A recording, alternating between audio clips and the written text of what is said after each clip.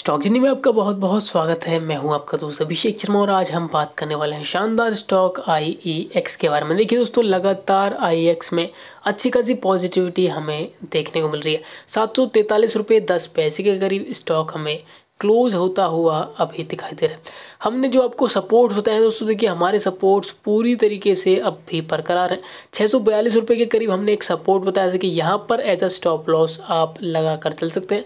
तो यदि आपके स्टॉप लॉसेस वहाँ पर लगे हुए हैं दोस्तों तो डेफिनेटली आप देख सकते हैं।